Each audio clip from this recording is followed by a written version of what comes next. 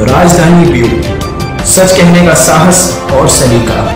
हम हैं आपकी आवाज़, राजधानी ब्यूरो विदिशा।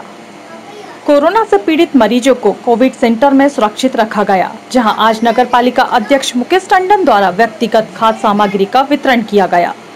विदिशा ज़िले के अटल बिहारी मेडिकल कॉलेज में कोरोना महामारी से पीड़ित मरीजों को सुरक्षित एवं अच्छा इलाज के लिए कोविड सेंटर बनाया गया, जिसमें फ़िलहाल अभी 106 कोरोना से पीड़ित मरीजों की जिला स्वास्थ्य विभाग द्वारा देखभाल की जा रही है। आज नगर पालिका अध्यक्ष मुकेश टंडन द्वारा बड़ी मात्रा में खाद्य सामग्री मरीजों को देने के लिए सिविल सर्जन को दी गई। इस अवसर पर भारतीय जनता पार्टी के नेता एवं कार्यकर्ता गण मौजूद रहे। वहीं दूसरी ओर को कोविड केयर सेंटर में भर्ती कोरोना पीड़ित मरीजों को उत्तम गुणवत्ता का भोजन न मिलने से एक मामला सामने आया था। आज सिविल सर्जन संजय खरे द्वारा इस गलती को स्वीकार करते हुए पुनः गलती न होने की बात कही गई।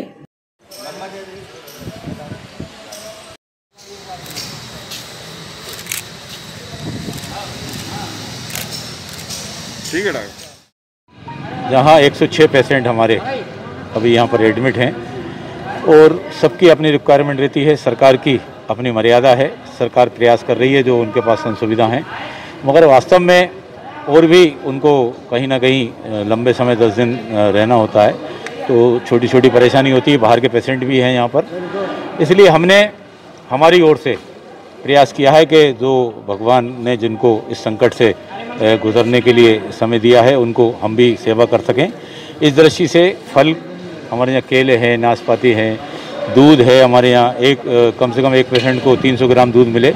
उस दृष्टि से 106 लोगों के लिए हमने ये खाद्यान्न सामग्री और साबुन नहाने का, कपड़े धोने का पेस्ट है, बच्चों के लिए जो है हॉट वैक्स पाउडर है और बिस्किट्स हैं। ये सारे जो हेल्थी जो फ्रूट्स हैं और ड्राई फ्रूट्स हैं, वो सारे के सारे हमने यहाँ पर 200 लोगों के हिसाब से उपलब्ध कराया है। साथ ही आगे भी अगर इस प्रकार की कोई रिक्वायरमेंट होगी तो हम करेंगे। मैं सभी आपके माध्यम से, सभी समाज सेवी संगठनों से ये निवेदन करना चाहता हूँ कि इस महामारी में हमारे कोविड सेंटर पर आकर उन लोगों की सेवा में सहयोग करने का निवेदन मैं करना चाहता हूँ, उनको सहयोग करें।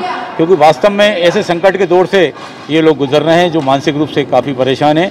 और इनको हेल्थी फ्रूट अगर मिलेगा तो ये बहुत जल्दी स्वस्थ हो जाएँगे। और हमारी शहर की शानदार परंपरा रही है समाज सेवी संगठनों के माध्यम से सेवा करने की। मैं आपके माध्यम से सभी समाज सेवी संगठनों से ये अपील करता हूँ कि इस महामारी के चलते हुए आप भी अपना योगदान दें और यहाँ पर जो लोग भर्ती हैं, उनके स्वस्थ होने में ईश्वर से भी प्रार्थना करें, सहयोग भी प्रदान करें। निश्चित रूप से आपका सहयोग इनके लिए बहुत ही सहयोगी साबित होगा। यही मैं आपके माध्यम से निवेदन करना चाहता हूँ। इसके अलावा और भी आवश्यकता कभी पड़ेगी तो ये हम लोगों ने व्यक्तिगत किया है, इसमें शासकीय योगदान कुछ भी नहीं है। व्यक्तिगत हमने ये यहाँ पर सहयोग एक सामाजिक कार्यकर्ता के नाते किया है।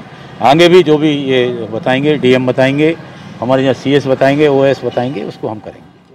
मुकेश टंडन जी द्वारा जिला चिकित्सालय में देखते हुए कि लोगों को बहुत सारी चीज़ें घर में जीवन नॉर्मल हो उनके स्वास्थ्य के लाभ से और उनको मदद करने से जिससे कि चीज़ें लोगों को एक घर जैसा माहौल मिले उस सब चीज़ों की के लिए तो, धन्यवाद। कुछ अ, ऐसी जानकारी प्राप्त हुई कि जिला अस्पताल के अंदर जो कोविड केयर में भर्ती है उन लोगों के लिए उत्तम गुणवत्ता का भोजन तो नहीं मिल रहा है। इसके बारे में मेरे कहने का मतलब ऐसे व्यवस्था एक एक कुछ सीमित व्यवस्थाएँ हो सकती हैं सरकारी सिस्टम से और जितना मेरे पास संभव है मैं प्रयास कर रहा हूँ।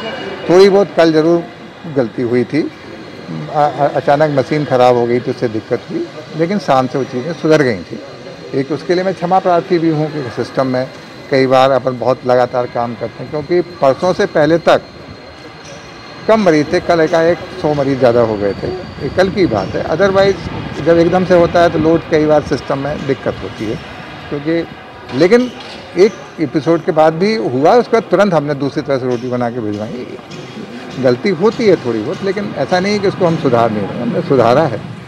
और रात को भी खाना इनको मिल गया था। वो समय शायद मशीन वशीन ख़राब हो गई थी और उसने जो हमारा वेंडर था उसने ध्यान नहीं दिया। लेकिन जैसे ही हमारे संज्ञान में आया तो उसको हमने तुरंत सुधार के उसको तुरंत प्रोवाइड किया। सुबह अच्छे से दिन के तो हमें मरीजों की सप्लाई के लिए कोई दिक्कत नहीं है। लेकिन हमारा मेन उद्देश्य है जैसा भी अच्छे से अच्छा संभव हो हम इन लोगों की सेवा कर सकें। विदिशा से कमल रेखवार की रिपोर्ट। राजधानी ब्यूरो। सच कहने का साहस और सलीका। हम हैं आपकी आवाज़। राजधानी ब्यूरो